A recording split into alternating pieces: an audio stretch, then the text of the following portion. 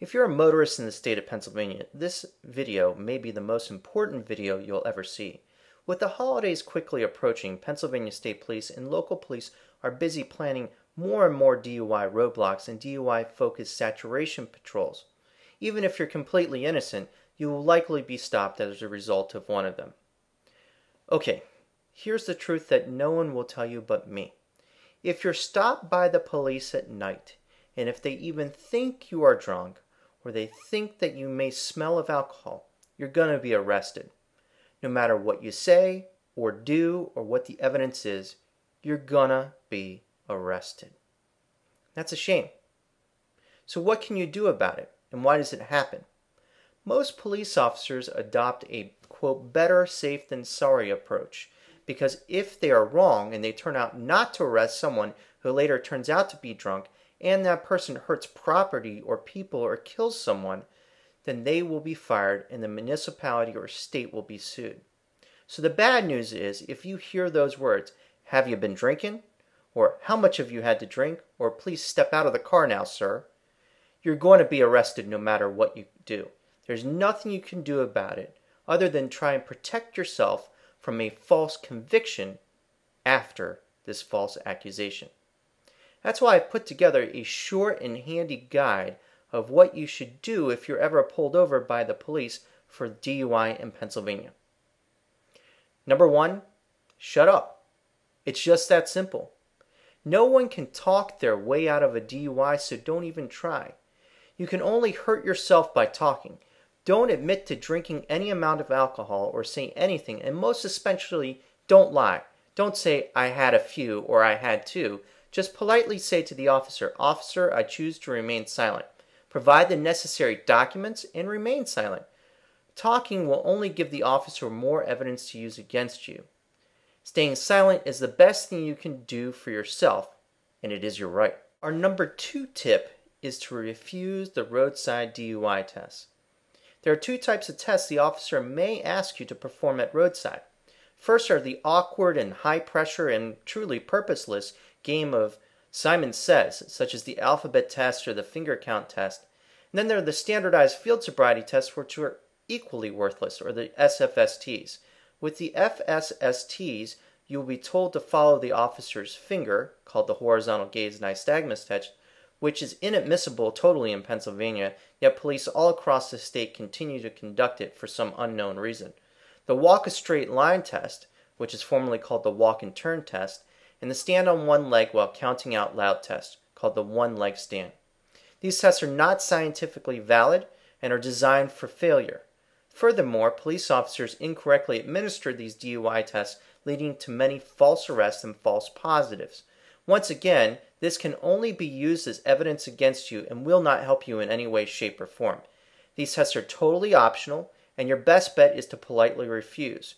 You will not be penalized for not doing them, in fact, by not playing the high pressure, meaningless game of Simon Says at roadside, you will provide the officer with less data to justify his reason to arrest you. Less data and information means that their justification in arresting you is weaker, and in fact, they may have no justified reason at all. It may result in there being insufficient evidence to justify your arrest and therefore suppressing all the after acquired evidence, causing your arrest and your case to be dismissed. The other test that the police may ask you to perform is called a portable breath test or PBT. You may think to yourself that these tests are accurate and valid. You may even think that because in truth you only had one beer or one drink that you could not possibly be over the limit and you would be dead wrong. These handheld PBTs are not precise and create false positives all the time. Once again, this PBT test is voluntary. You're not required to do a PBT test. If you do not perform a PBT test upon request at roadside, you cannot be charged with a refusal for it, and the jury will not even hear about the refusal to do it either. In fact, you should not do it at all. As these things are not specific to alcohol and they're not accurate, you are voluntarily providing the police with more evidence against you. To do so does not make sense since you're 100% innocent. These tests are optional and you should politely refuse. Number three, request an independent blood test. If the police take you into the station for a full evidentiary breath test, or the booking center or hospital for a blood test, you have the right to request an independent blood test. They won't tell you that uh, and that you have that right to an independent test, but you do. You simply tell them that you want them to follow the law. In section 1547 of the Vehicle Code, we find the following language in subsection H. Test by personal physician. The person tested shall be permitted to have a physician of his own choosing administer an additional breath, blood, or urine chemical test, and the result of these tests shall also be admissible in evidence.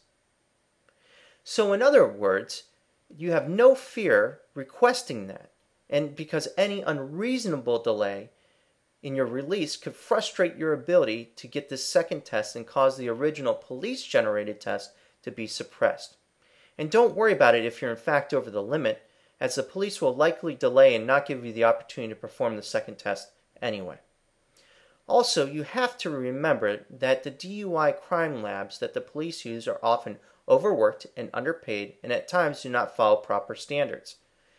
Very few attorneys check their work. We always do. We frequently find errors that lead to challenge of the validity of the test result the risk of false positive from lab error is high, and you can read more about it on our various blogs. Number four, write things down. Another important piece of advice is to write things down. Try to establish what we call a drinking history by going back and getting witnesses' names and addresses so we can later go back with our investigator to try and make a true pharmacological history. People forget things, and writing things down will help preserve the details. Remember, details provide for truth, truth wins cases, details win cases. The important thing to take note of is who can confirm how little you had to drink and over what period of time, as well as your stomach contents, meaning what you had to eat. With this and other information we can gather, we can construct your true blood alcohol content and what it should have been at the time of driving or the time of the test to refute the state's evidence. In addition, we want to talk to everyone who saw you so we can present witnesses that refute the officer's claim that you appeared drunk and instead that you were in charge of your full faculties, that you made sense, and that you weren't stumbling when they last saw you.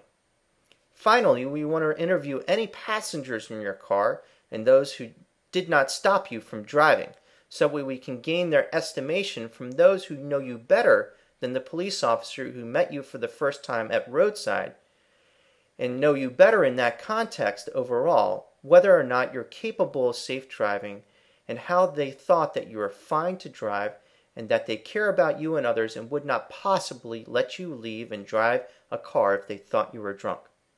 Number five, call a qualified Pennsylvania DUI attorney immediately.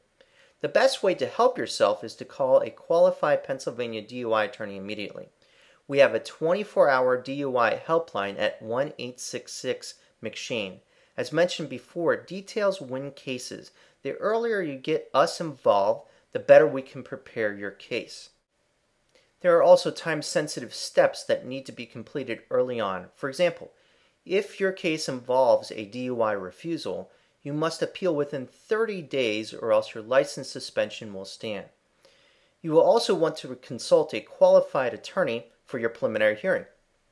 The preliminary hearing is the most important and crucial legal step in the very beginning of your DUI defense, and you must, I suggest, have an attorney present to represent you for your case.